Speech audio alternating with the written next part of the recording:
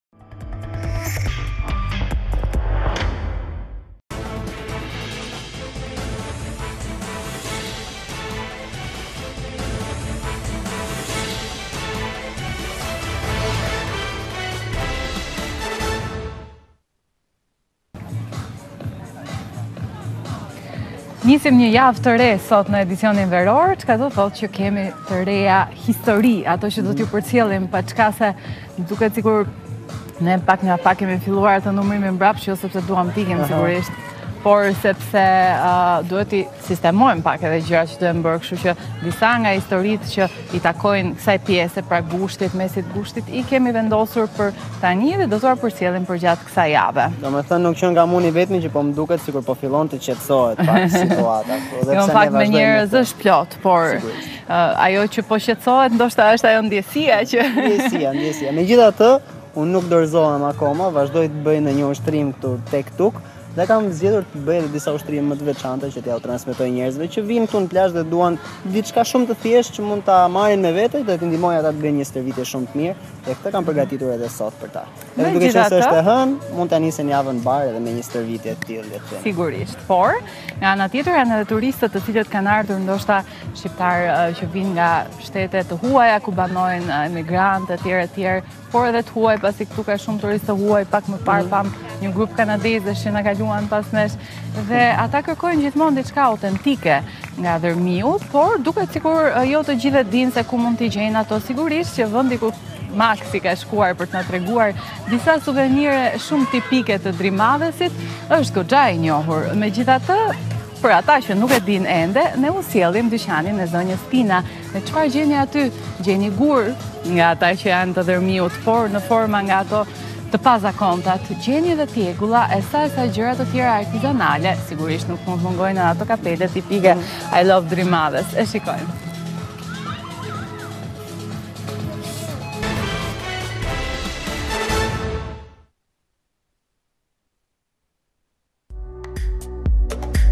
Gjithsecili prej nesh kur shkon me pushime në një vend të caktuar, do të blejë një suvenir që ta mbajë kujtim. Sot ne kemi ardhur në Drimadhe Souvenir Shop për të parë se çfarë preferojnë turistët e huaj dhe ata vendas. Na ndiqni.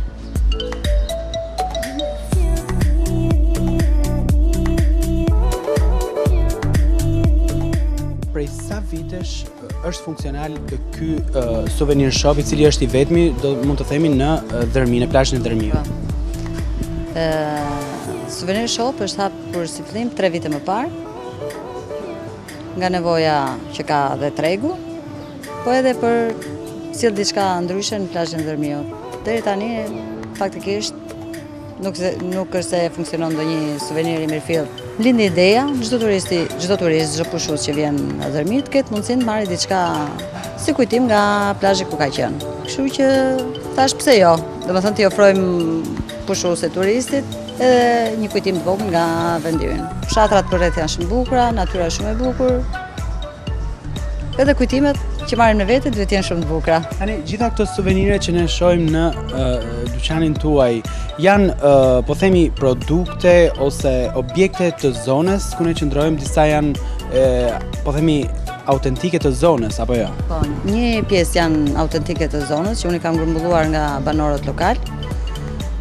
Një pjesë tjetër të tjera janë të porositura, domethënë të dhëna me porosi, Si rasti i gotave për shembull, shotset, rinia i do shotset nuk i do më këto gjëra, çaj ose këto i porosisim, i bëjmë me porosi, domethënë, ok, sasia është e pakët, nuk është se bëjmë me mijëra copë, sasi të vogla. Kush janë ata që zgjedhin më shumë këto shotsat? Mos më thuaj që janë turistët rusë dhe turistët holandezë. jo, e çuditshme është që janë turistët italianë dhe shqiptarë. Domethënë edhe italianët, edhe italianët i, po, i dëshirokan goxha shotsat, por meqenëse preferojnë. Kurse për në moshë, domethënë për mosha një çikë më të rritura, marrin filxanin e kafes, edhe këto janë të pikturuara dhe të bëra me dorë.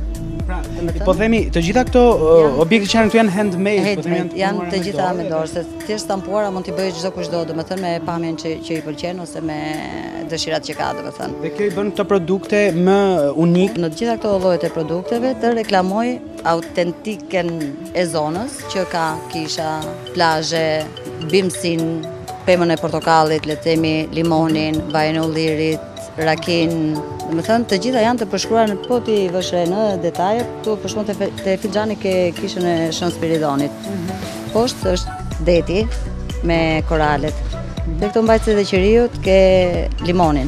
Mm -hmm. Domethënë se ne jemi zonë bregdetare. Që është të zonës së Dhërmiut limoni normalisht?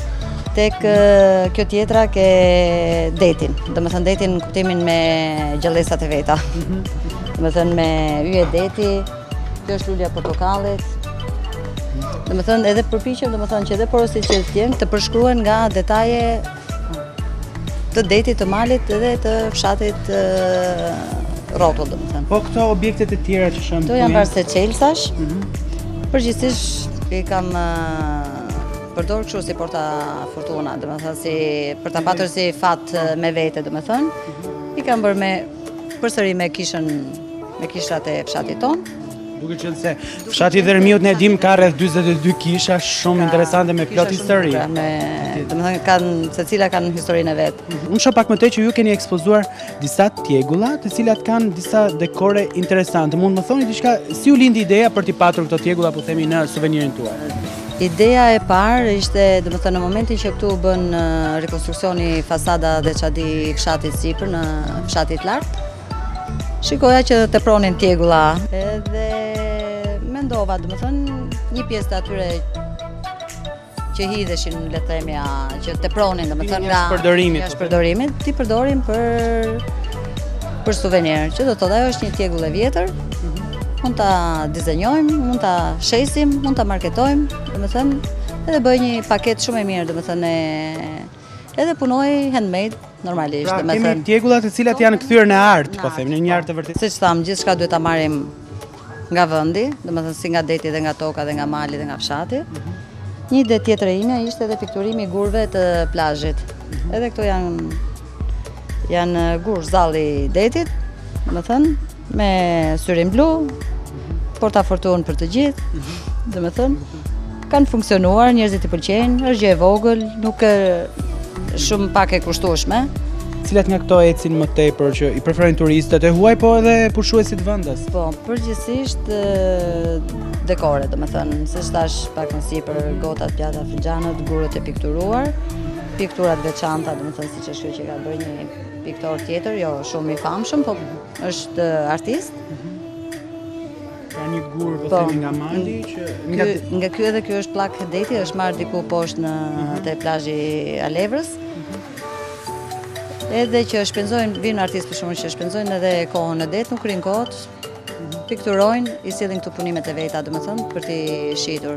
Okej, siç thashë dhe më parë, çmimet janë minimale, domethënë, sa për Janë, po themi janë çmime simbolike që nuk e rëndojnë buxhetin e një jo, pushuesi, jo, qoftë vendas apo të huaj. Thjesht sim, simbolike sepse edhe artistit i vjen zor ta që ta fal, do atë vlerësimin e vet. Po ky objekti këtu, për çfarë shërben? Janë mbajtëse për të vënë gotat mbi tavolinë. Mhm. Janë ja 10 copë. Mhm.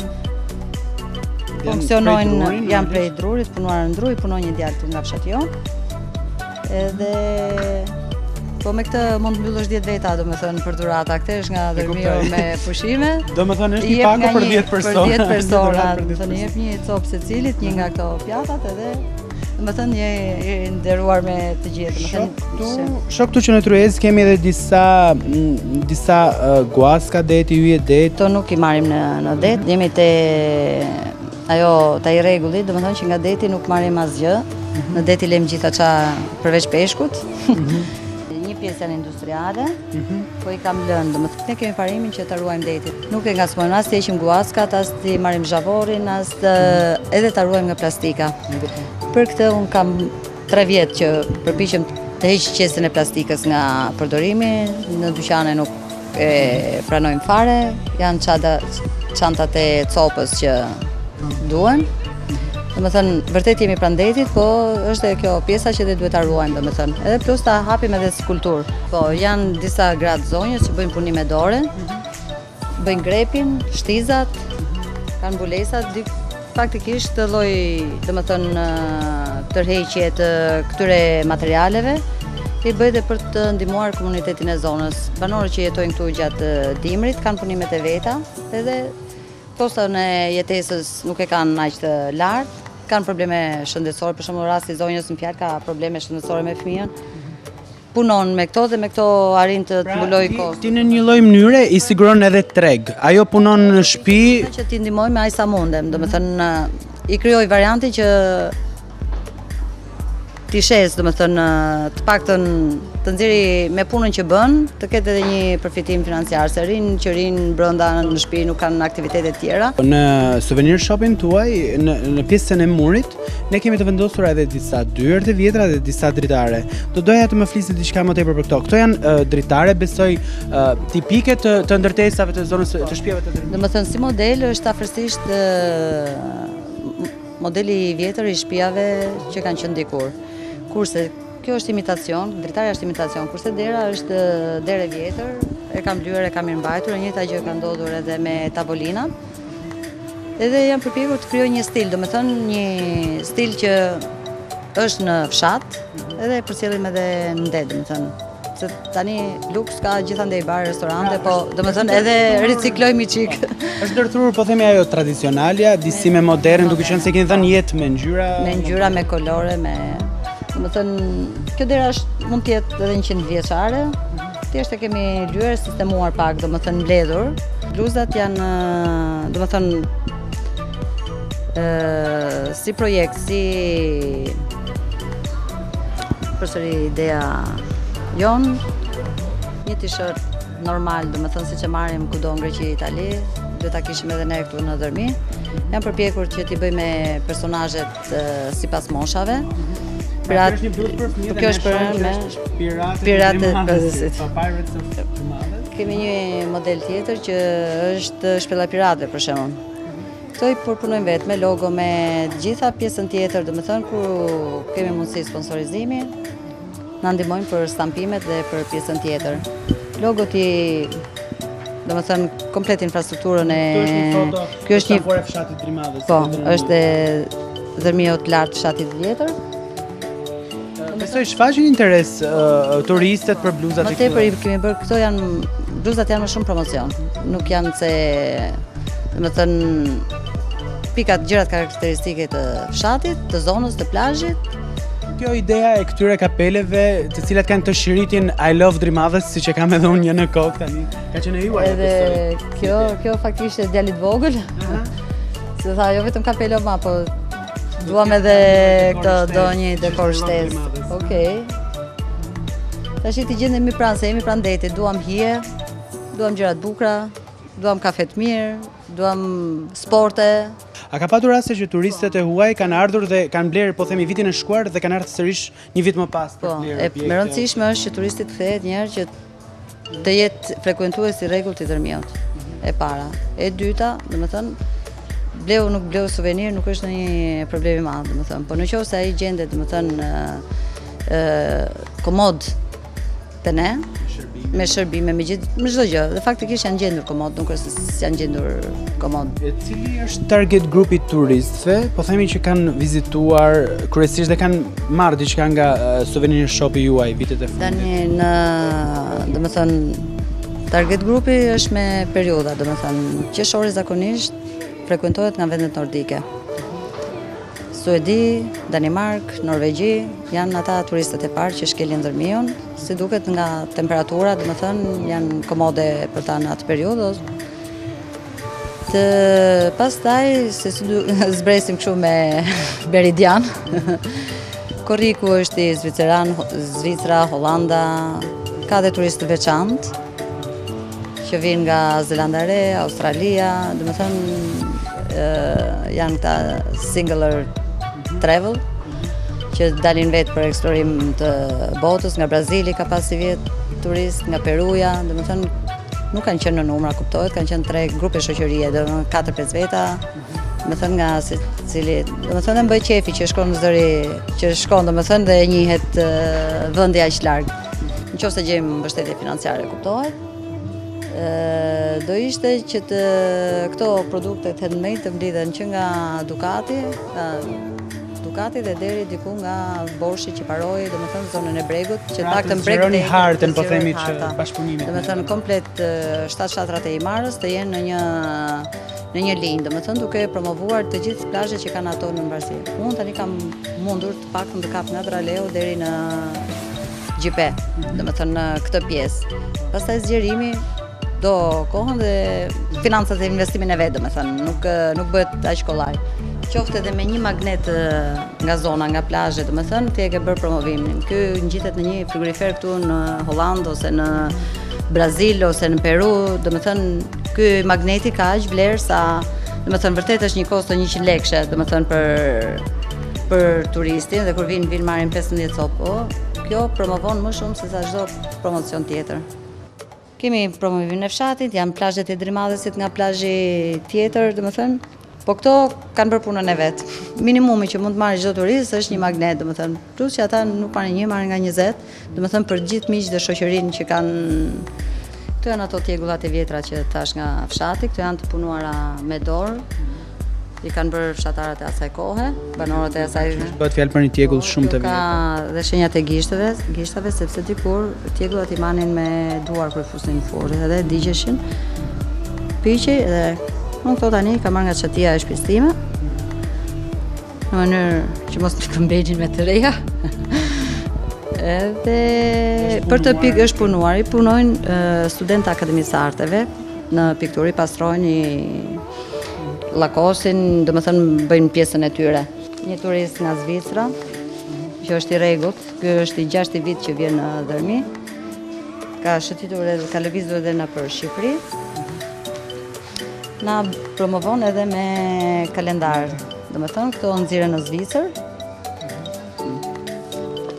Ktu është diku në fund të plazhit, në fund në Alevra poshtë. është i botuar del në Zvicër. Kjo duket është në gjuhën gjermane? Po. Ky është Antonio, për shembull, djali i plazhit ktu që lëvizte që është rritur këtu. Promovon ushqimin në Dhërmi.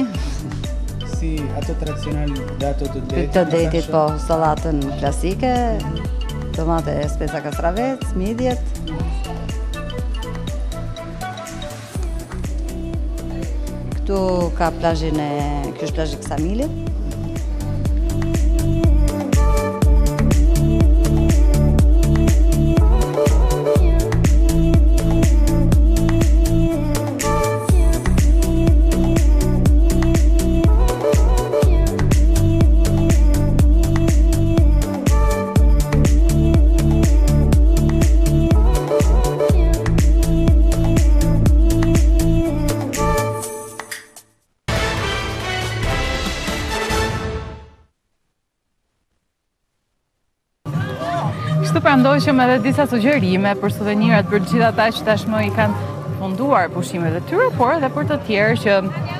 Ndoshta e kanë zgjatur më tepër qëndrimin pasi gushti është ende në një të tretën e parë të tij, kështu që kemi ende kohë. Ti ke çfarë do t'i çosh suvenire kujt tani kur të kthehesh apo nuk i ke ato të shtëpisë kështu? Jo, po me sa më lanë kuptu ka disa vende ku ka edhe guaska.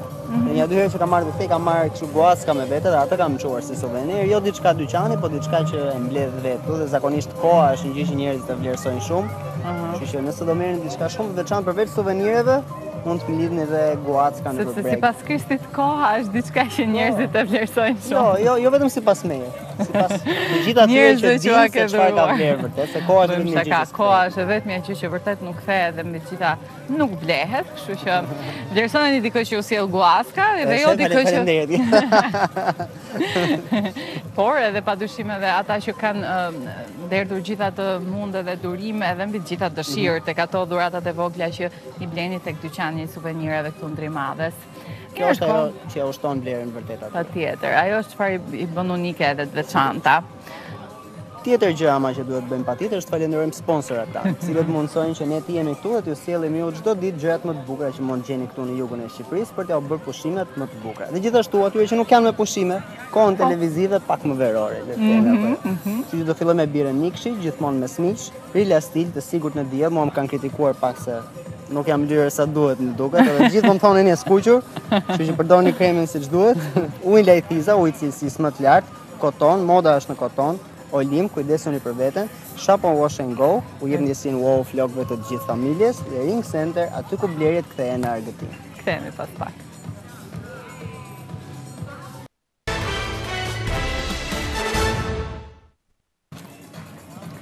E ndërsa dielli bie tashmë nuk është si më parë, mhm. sot, sot, tani është ora 7.39, pra 8 pa 20, edhe tashmë perëndimi është thuajse drejt fundit. Na kanë ndryshuar pak se më përpara arrinim ta shihnim plotësisht se ku perëndonte, tani na është fshehur diku andej. Kështu që nuk arrijmë më ta shohim. Tash shkurtohet dita më, Kris. Por pamja mbetet po aq piktoreske, pavarësisht Sigurisht. E kjo është kjo është diçka që nuk ka kundërshtim mhm. besoj. Mm -hmm. Edhe na e thonë të gjithë turistët që për këtë pamje mm -hmm. do të jepnin gjithçka, do të linin edhe ndoshta pushimet në Ibiza e të tjera të tjera.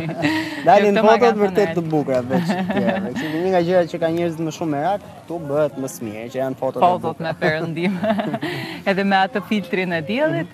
Mhm. Sigurisht që këto tashmë i kemi mhm. ezauruar, ne, se kemi pjesë, pjesë, kemi apo. Sa u bë, ne kemi ardhur këtu në 15. 15. Kështu që po bëhet pothuajse një muaj. Një muaj, një muaj që jetojmë vetëm këtu. Edhe akoma s'na është mërzi.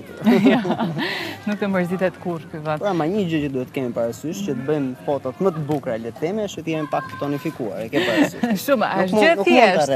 Ja, një spërkatje edhe bë.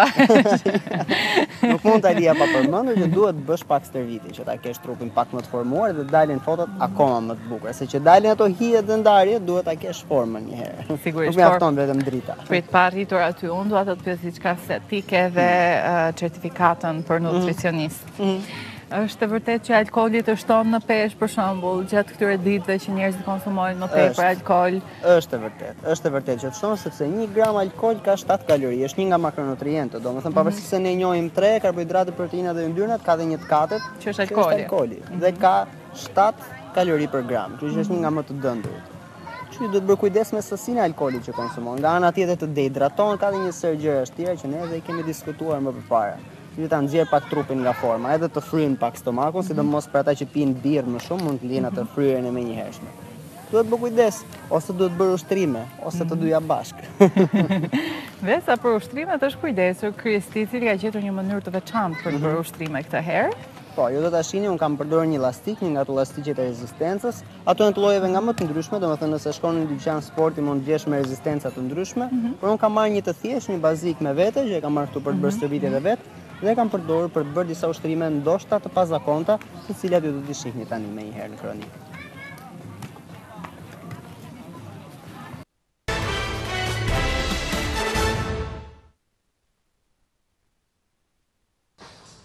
I rikthehemi ushtrimeve në plazh, po bëjmë më të mirën për ta mbajtur trupin në formë këtu. Unë kam rënë pak në peshë sepse duhet të dini që forma trupore apo masa muskulare në trup shkon përshtat stimulit që i jep, domethënë rezistencës që trupi mundohet të kundërshtojë dhe në bazë të asaj ndërtohet dhe masa. Në mungesë të një rezistence shumë të lartë, masa muskulare bie, por ne po mundohemi ta mbajmë sa më mirë trupin këtu në formë duke bërë ushtrime me mjetet rrethanore që gjenden këtu, Dhe në këtë rast, unë kam marrë një llastik me vete, janë këto llastikat që gjen nëpër palestra, me të cilët mund të bësh ushtrime të ndryshme. Kjo është një nga gjërat më të thjeshta që mund të marrësh me vete, duke qenë se mund të mblidhet dhe thjesht futet në çantë dhe nuk zë aspak vend. Kështu që nëse nuk mund të marrësh asgjë tjetër me vete, llastiku është gjëja më e thjeshtë që mund të marrësh dhe ka pafund ushtrime që mund të bësh me të. Unë do ju tregoj disa ushtrime sot, Disa që e përfshin llastikun, disa jo, por të tjerat janë me peshën e trupit, kështu që kryesisht do përdorim llastikun dhe nja dy ushtrime tjera plotësuese. Kështu që më ndiqni dhe nëse keni një llastik me vete mundet edhe t'i bëni ushtrimet ndërkohë që shihni video. Për ushtrimin e parë që do bëjmë kemi lidhur llastikun dysh në mënyrë që të ketë akoma më tepër rezistencë, do rrimë në një pozicion me krahët afër, do tentojmë të hapim krahun anash në pozicionin e një pompe dhe do ulemi poshtë e do çohemi përsëri lart. Në këtë mënyrë përveç aktivizimit të muskujve të pektoralit, aktivizojmë edhe pjesën e pasme të supit. Do të filloni ta ndjeni aty shumë shpejt, do kuptoni që jeni duke e bërë ushtrimin saktë. Bëni sa më shumë përsëritje të mundeni dhe kalojmë te ushtrimi tjetër. Për këtë ushtrim jemi kryesisht në një pozicion statik, do ruajmë këtë që quhet plank position, në këtë mënyrë jemi duke aktivizuar muskujt e barkut, mundohuni ta mbani trungun e trupit sa më drejt dhe të zgjateni sa me njërin krah me tjetrin, dhe të prekni gurin që keni përpara. Nëse keni parë një tavolinë me tre këmbë, e kuptoni që është një pozicion jo shumë stabil dhe kërkon një aktivizim të mirë të abdominaleve në secilën nga këto përsëritje. Për ushtrimin tjetër do mbajmë një pozicion të trupit pak diagonal në mënyrë që të aktivizohen gjatë gjithë kohës në mënyrë izometrike muskujt e barkut dhe përmes elastikut do shtyjmë një herë me njërin krah, një herë me tjetrin përpara, duke aktivizuar kështu edhe muskujt e pektoralit, edhe muskujt e supit. Gjithashtu punon pak tricepsi, Mund t'i bëni lëvizjet ritmike kështu siç jam duke i bërë unë, ose të dy krahët njëkohësisht dhe do ta kuptoni që jeni duke aktivizuar edhe muskujt e gjoksit bashkë me muskujt e barkut.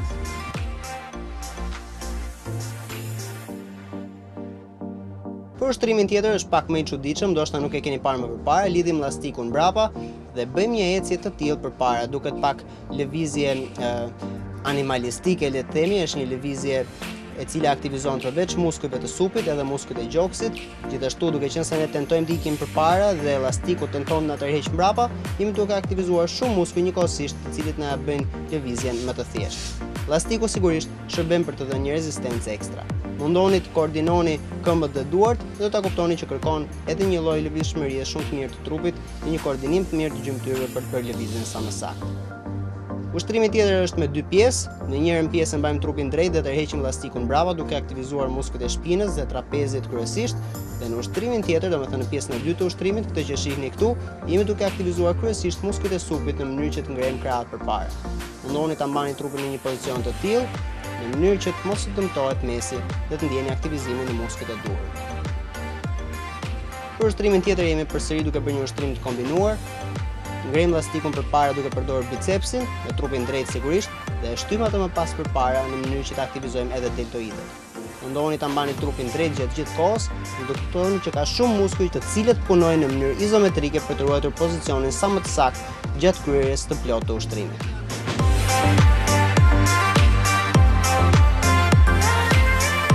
Siç duket janë goxha të lodhshme, Mua po më kullojnë djersë të gjitha andej, e në një bëhet çikë me rërë, do me thënë që kemi bërë një punë të mirë këtu me stërvitjen.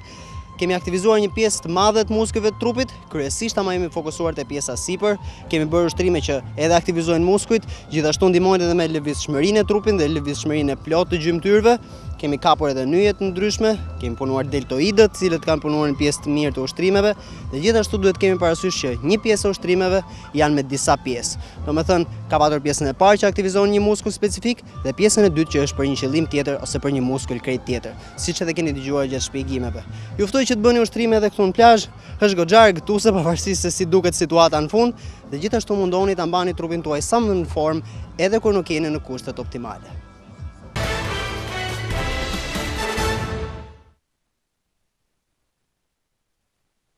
Rikthehemi në studion e edicionit veror dhe jo vetëm, pasi pak më parë thamë që një grup kanadezësh kishin zbarkuar këtu në plazhin e Drimadhesit dhe ne kemi njërën prej tyre, e cila në fakt ka prejardhje nga Polonia dhe quhet Hola. Did I say it right? Yes.